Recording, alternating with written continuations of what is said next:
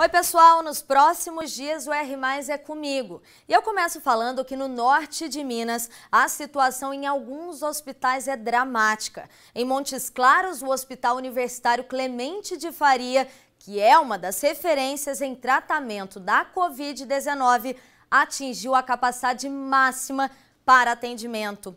Leitos da maternidade, que também está lotada, tiveram que ser remanejados para pacientes infectados pelo coronavírus. O hospital não descarta o colapso. Situação parecida enfrenta o Hospital Haroldo Tourinho, que anunciou ontem que está com 100% dos leitos de Covid ocupados. E de acordo com a Superintendência Regional de Saúde de Montes Claros, dois outros hospitais também atingiram ontem a ocupação de 100% dos leitos clínicos. São eles o Hospital das Clínicas Mário Ribeiro e o Dilson Godinho.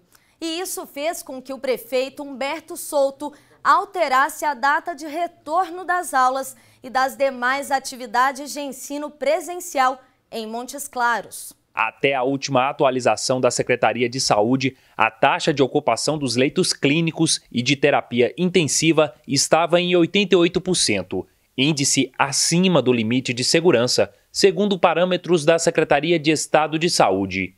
Outro critério que foi analisado para a mudança da data é a capacidade assistencial do município, que é a referência para toda a região. Em fevereiro, o município havia permitido o retorno das aulas e atividades presenciais da rede particular e pública para o dia 4 de março, ou seja, na próxima quinta-feira.